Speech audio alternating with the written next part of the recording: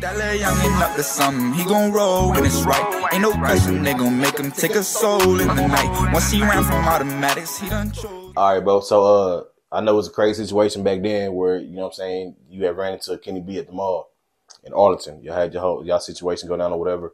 Now Kenny B has changed his life around, you know what I'm saying, got baptized and things like that. Do you feel like y'all can ever just be cool No. again? My first day at the fucking jail, he got on my law talking about this nigga gotta be snitch. Snitching. Never had a case with nobody. So you.